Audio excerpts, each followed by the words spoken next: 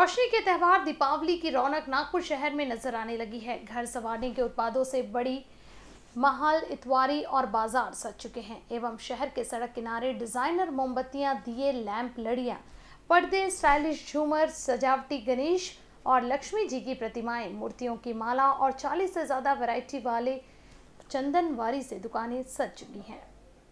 Artificial फूल मालाओं की भी जमकर खरीदारी हो रही है। दीपावली पर्व पर लक्ष्मी गणेश की पूजा का विधान है। शहर में जगह जगह दर्जनों की संख्या में माला फूल की आर्टिफिशियल दुकानें लगी हुई हैं।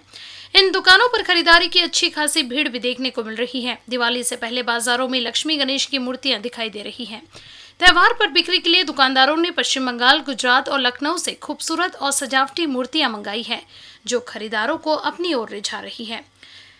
खैर, इस साल दिवाली की तैयारियाँ जोरों शोरों से दिखाई दे रही है। लोग खरीदारी में जुट गए हैं, ऐसे में बाजारों की भीड़ देखते ही बन रही है। इन बीसी न्यूज़ के लिए कैमरा पर्सन राजकुमार मोहड़ के साथ क्षितिजा देशमुख की रिपोर्ट।